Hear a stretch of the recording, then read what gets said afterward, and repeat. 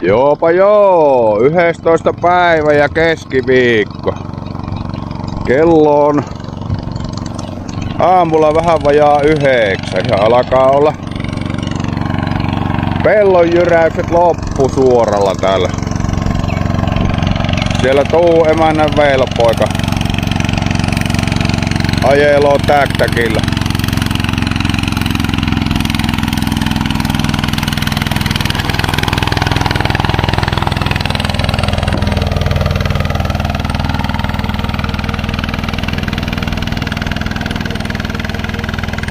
Naapuri paukutteloo lintupaukkuja jossakin. Joo, tää jyräyshomma alkaa olla loppusuoralla. Ei joku pien läntti tuossa enää. Pien läntti mitä pitää jyräillä. Kostea on ilma vieläkin. Kostea on ilma vieläkin, kun eilen sateeli. Ja niin niitä on sateita luvassa kyllä seuraavat seitsemän päivää joka päivälle, mutta saa nähdä miten tuossa käy. Ainahan ne luppoavat.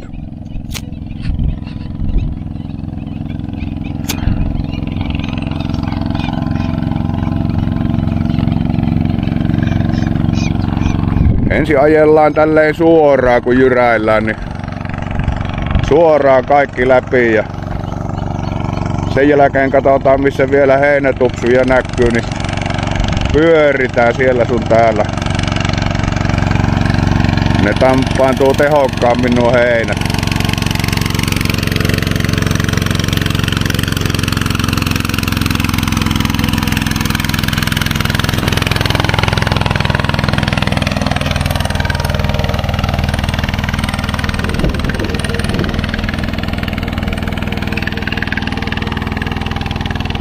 Eli tarkoitushan tässä on tasoitella nuo suurimmat möykyt ja sitten nuo heinät.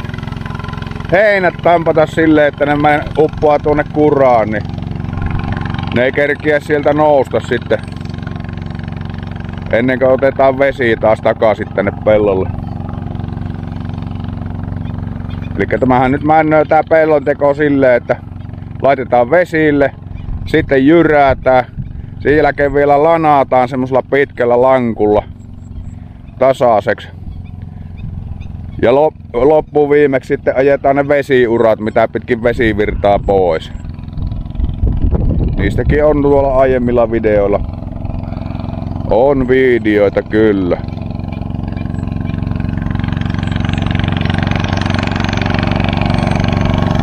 Linnut löytää herkkuja ja herkkua, sieltä ne tuloo jyrämiehen perässä. Tai jamnaa miehen perässä, niin kuin tämä paikallisesti sanotaan. Nyt meinaa menee jo vähän sladissa.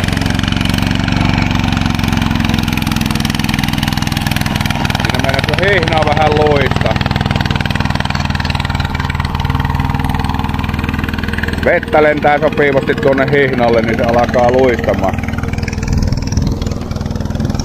Mutta me lähdetään aamukahville. Täällä on ammattimies asialla. Ei meidän tarvitse tätä kyllä tulla tänne neuvomaan.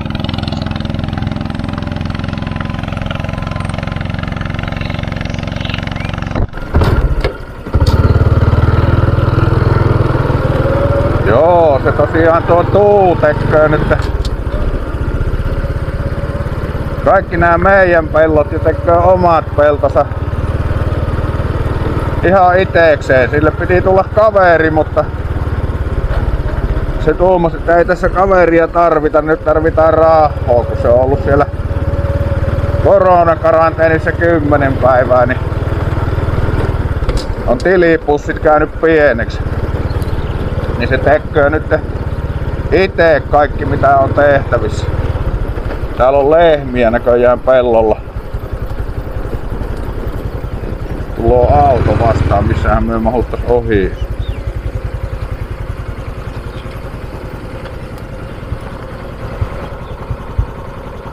Lehmät kahteloo, että mikä ukko siellä oikein, mikä ukko siellä oikein touhua.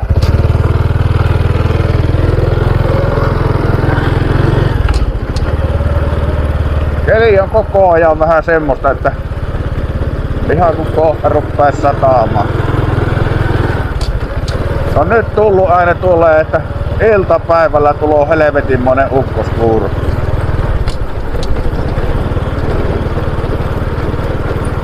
Outoa keliä tämmöstä ei oo kyllä ollut ihan sitten viime näkemä.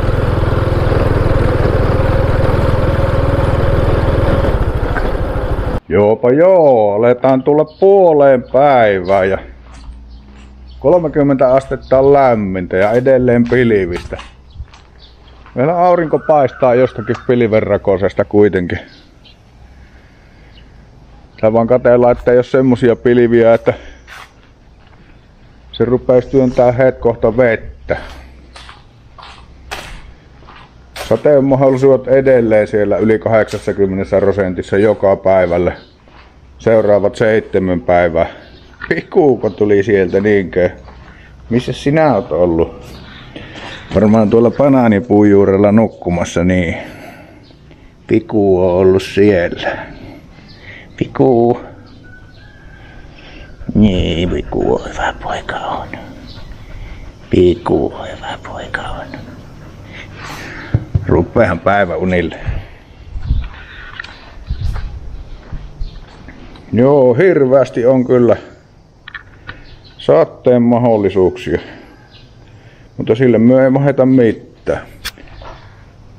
Lähdetään tosiaan kahtoon mitä se tuu touhua siellä pellolla ja ensin on kyllä käytävä päiväkahvilla tuossa emännän puttiikilla. Palataanpas asiaan siellä pellon reunalla.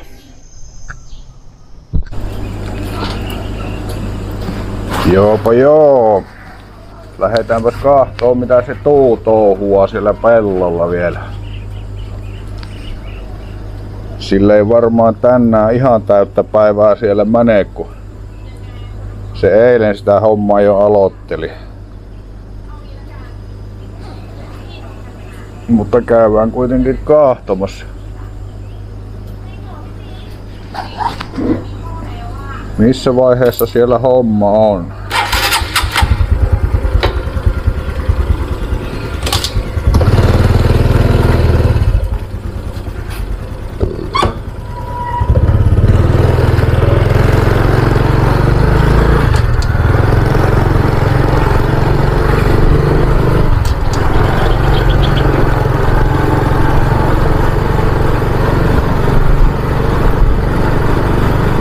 Mustia pilven möykkyjä on, mutta ei se ainakaan äsken näyttänyt sajetutkassa, että olisi sateita siltikään seuvulla. Koira ihmetteli tuossa, kun Ialisko oli tuolla vesrajassa.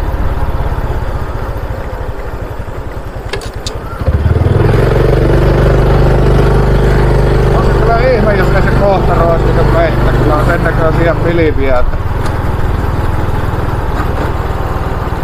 niistä saattaisi jopa tulla.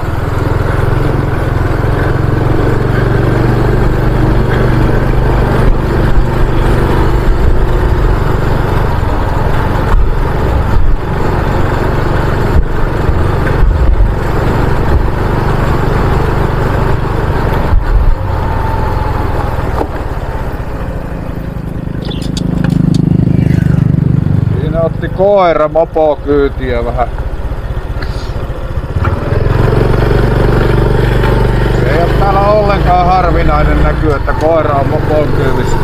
Kyllä niitä näkee aika paljon. Niin kuin kaikkea muutakin mahdollista kuljetetaan mopolla. Tuommoinen iso jääkaappikin menee mopolla aika kätevästi. Aimaalaiset on kyllä käteviä siinä hommassa, että mitenkä paljon mopoon lastetaan tavaraa kyytiin. Taikka ihmisiä.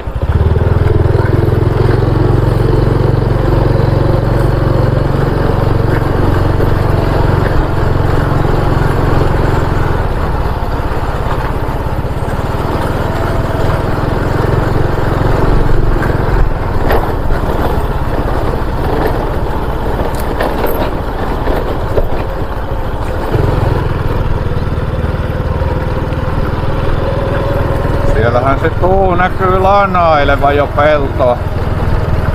Se on saanut jyräämiset valmiiksi.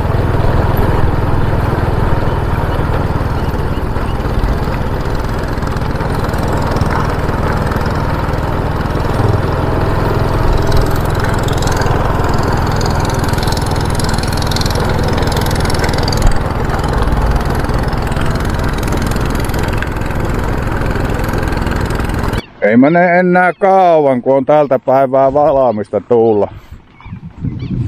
Nuo on lannailtu nuo pellot ja jyrräilty. Taikka nuo lohkot. Tämä lohko täällä vielä on tekemättä.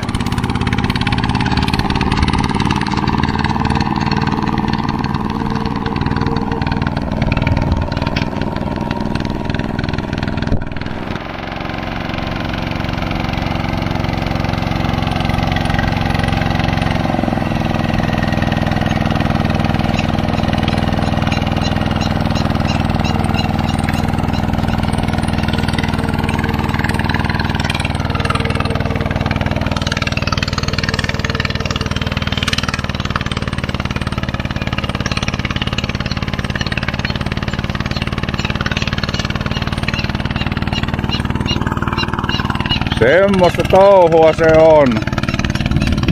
Sillä on tuossa pitkä lankku tuon keleka eessä,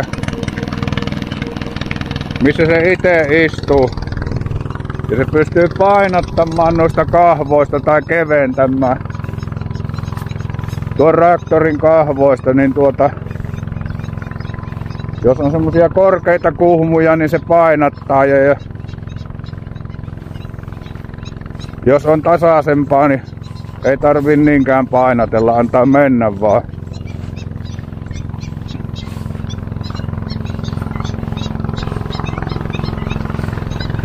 Katsotaanpas kohta vähän lähempää, kun se sieltä tulloo tänne päin.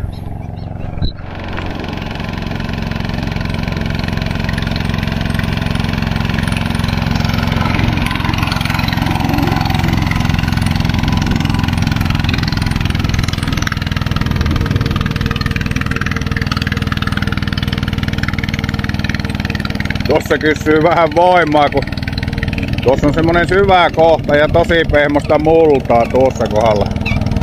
Tai saveahan se on. Kuulee koneesta, että nyt kysyy voimaa.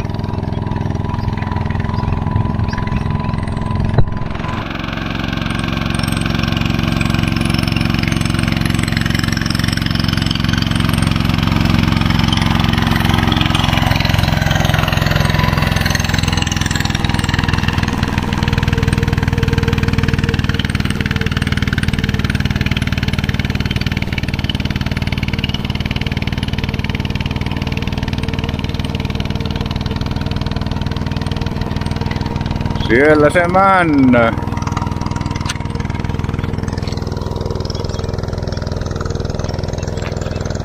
Mutta myö jää tänne nyt pitemmäksi aikaa. Se on lähettävä käymään vähän asioilla. Tuolla kaupungissa. Taikka kylällä.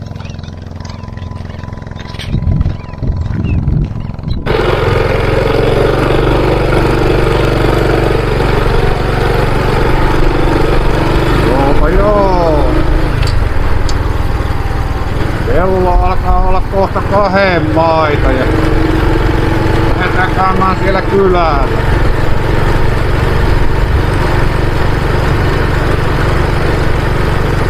Pilvessä näkyy olevan taivas vieläkin melkein kokonaan. Välillä aurinko vähän pilikastelee.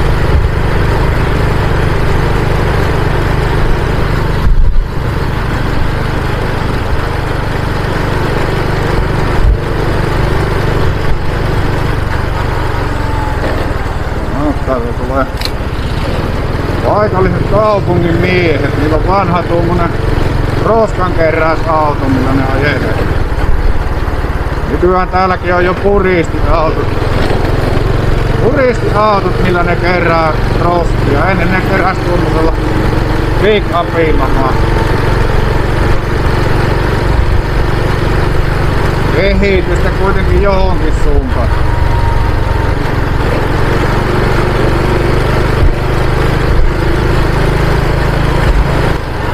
Täytyy kiertää tuolta silla ali tuonne toiselle puolelle noita liikennevaloja.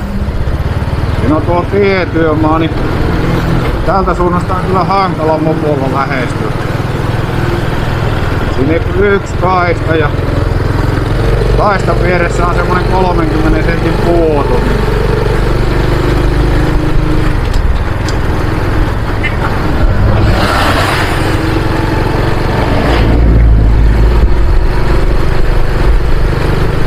Siitä ei oikein pääse autojen ohi etenemään tuolta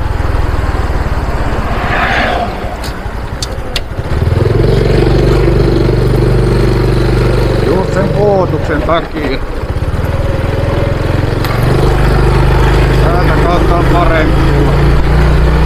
Vaikka täälläkään ei ole kaikki paistot käytössä.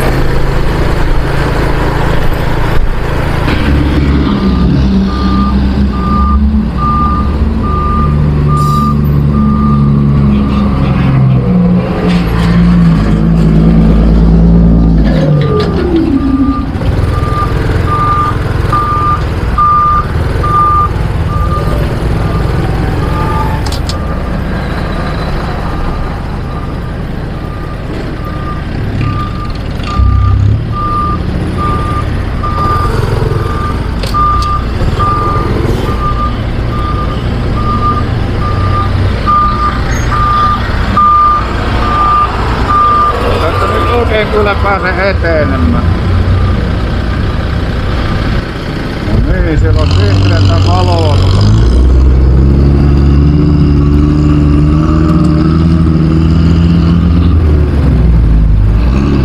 Ei pääse kyllä millään nyt ohi.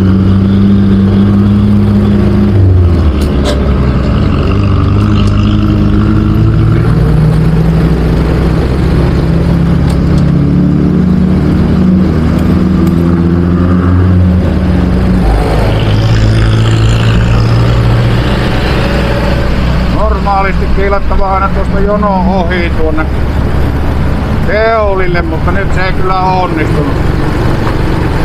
Sen verran oli tuota tiekarhu siinä tiellä.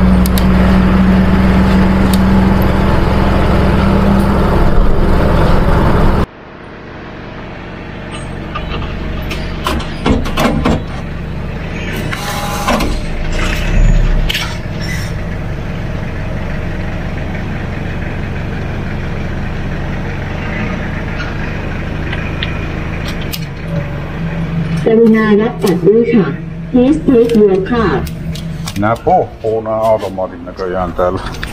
Joopa joo. Tulin tähän jokirantaa ihmettelemään. Miten on veen pinta noussut, kun se on satanut niin paljon sekä tuolla pohjoisessa että täällä, mutta ei se on noussut yhtään. Ne nähtävästi keräävät tuonne yläjuoksulle patoon vettä, jos siellä on ollut vajausta juoksuttavat se, vaan sen mitä on tarvis. Tuolla toisella rannalla on paikallinen kalankasvatuslaitos. Ne kasvattaa tuommoisissa ponttoneissa on semmosia säkkiä kiinni, missä ne kasvattaa niitä kaloja. Niitä kaloja tullut syötyä monta kertaa.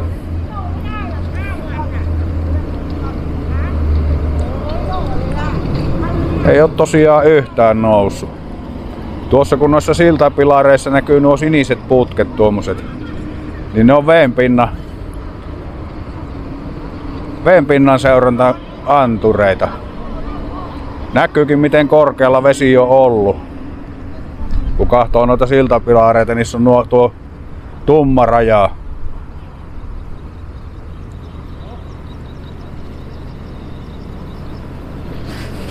Aika matalalla on vielä. Siihen nähden miten paljon on sataan. Tuolla näkyy se keskeeräinen riisinjalostamo toisella rannalla. Me ollaan nyt täällä Pamokin puoleisella rannalla.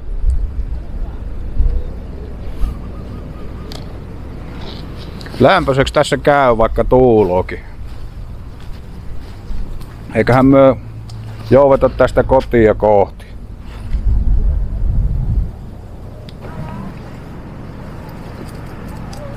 Let's go, luteet!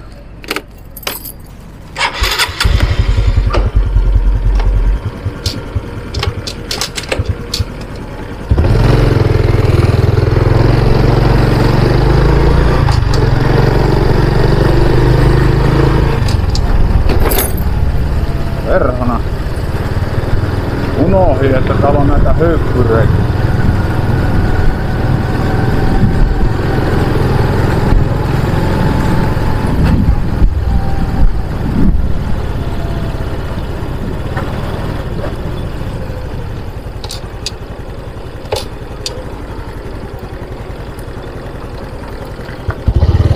Senkin unohdin, että eihän tästä kautta pääsekään. No, ei siinä mitään, mennään tuolta toista kautta.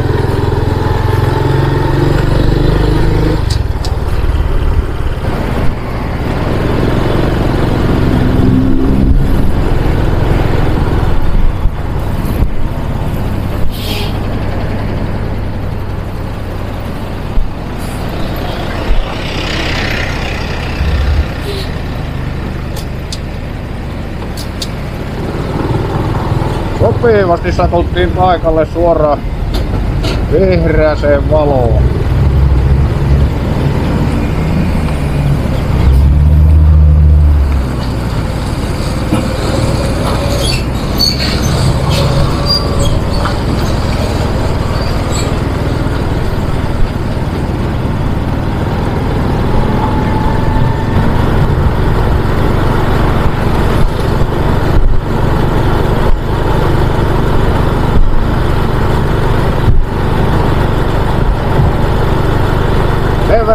Sen vilikasta tuossa, että dieselin hinta on nyt kyllä noussut. 31 alkoi ennen hinta, nyt alkoi 32, mutta en kerennyt nähdä sitä loppuun. Sieltä viilettää taas yksi kuormien kuorma. Näkyy olevan kierrätyskahvia tuo kuorma.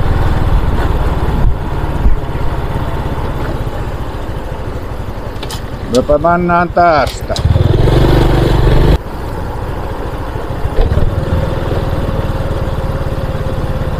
No niin kuin se heittäisi muutaman pisaran veittä. Näköhän se mennään kameran linssiin. Kun laulussa sanotaan, että aurinko paistaa ja vettä sattaa. Näkö kun rupes menemään visiiri niin ihmeellisen näköinen. Pikkusen rautin, niin johan sieltä vettä tuu naamalla.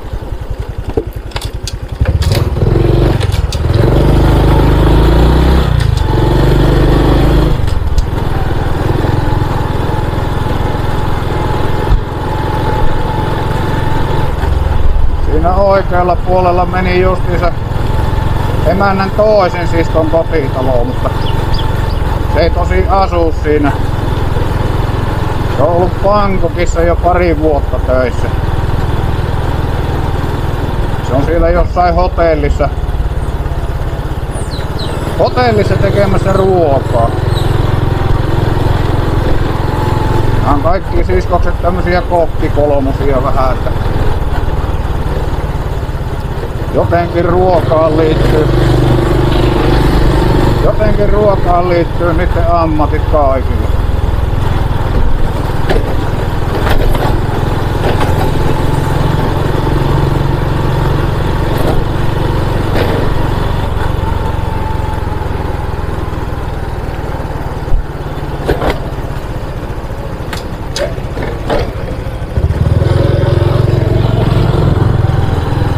se oikein sataamaan ruvennut, mutta muutamalla pisaralla viski.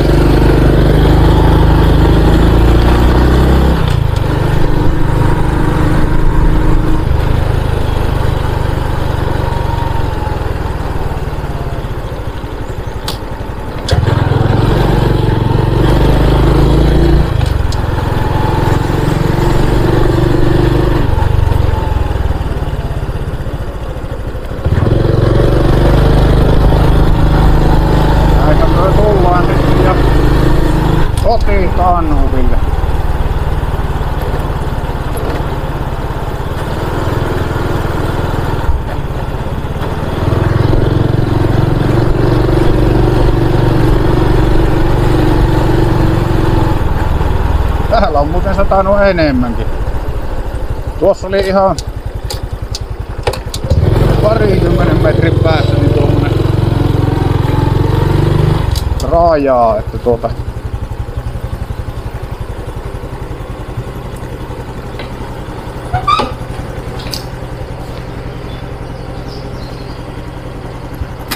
Mistä alkoi niinku tuommoinen märkä tie. Se on täällä roiskaattanut vähän enemmän.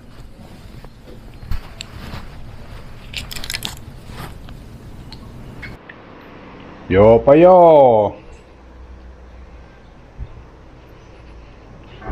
Siellä näitä meidän riisiä lilluu nyt täällä. Täällä täällä.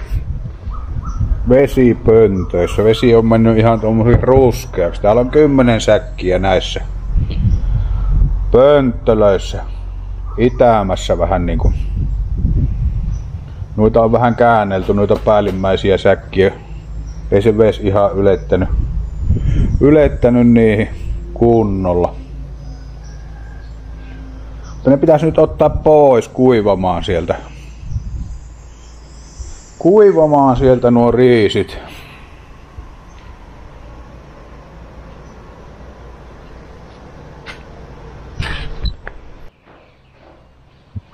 Tämä on helppo tyhjentää tämä pönttö, kun tää on tää korkki. Mutta sieltä tulo.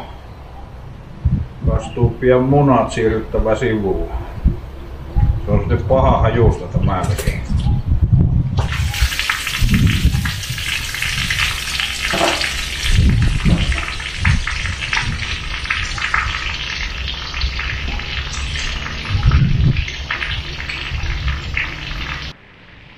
Tynnyri ei olekaan yhtä, yhtä helpota, vaan pukattava nuri. Tietenkin se luistaa.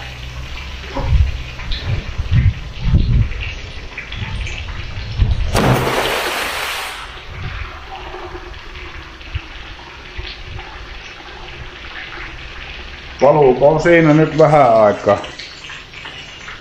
Ne on painavia muuten nuo säkit, kun ne on ihan märkä.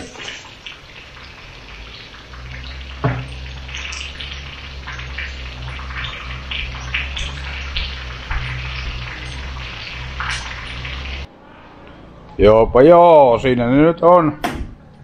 Riisisäkit peito alla. Pellolta olevat säkit ei vielä ole, mutta siellä on kyllä työvoimaa niitä nostamassa ei keretä nyt lähteä sitä hommaa kuvaamaan. Mutta nämä on tässä nyt valmiina. Parin päivän sisällä ne olisi kylvettävä, muuten ne ittää liikaa. Jos ei pysty kylvämään, niin sitten ne on kuivattava uudestaan. Mutta tuota niin, kyllä se silleen tähtäillään nuo hommat, että parin päivän päästä päästäis kylvötouhuihin. Periaatteessa jo huomennakin. Periaatteessa jo...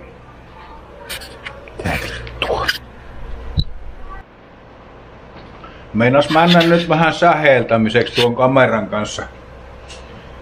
Ei siinä mitään. Niin mihinkäs myö jäätiin?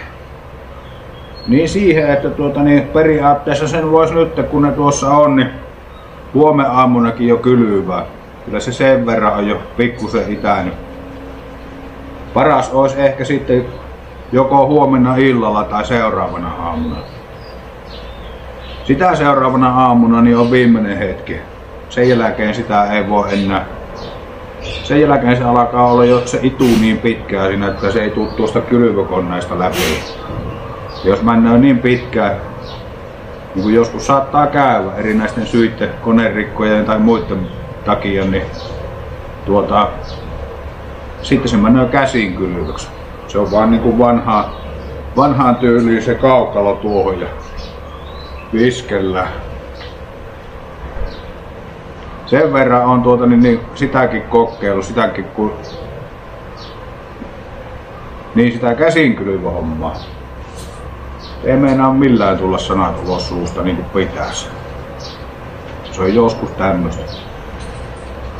Niin sen verran on kokeilu, että tuota, tehtiin joskus ruokariisiä semmonen yhden rai alue, eli 1600, 1604.